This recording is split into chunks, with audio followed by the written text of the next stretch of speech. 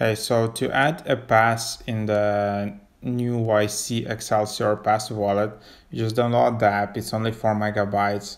It's a free app, and then uh, yeah, you first need to do the to get your pass on the website.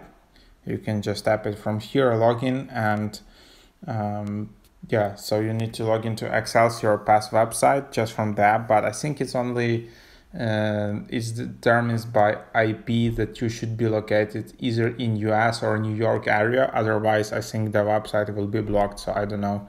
Uh, and then when you got your pass on the website, you can just uh, add a pass from here, either like scan a QR code or the pass you got from the website, or add from Photos or mm, get my pass. Just go to the website. That's the idea.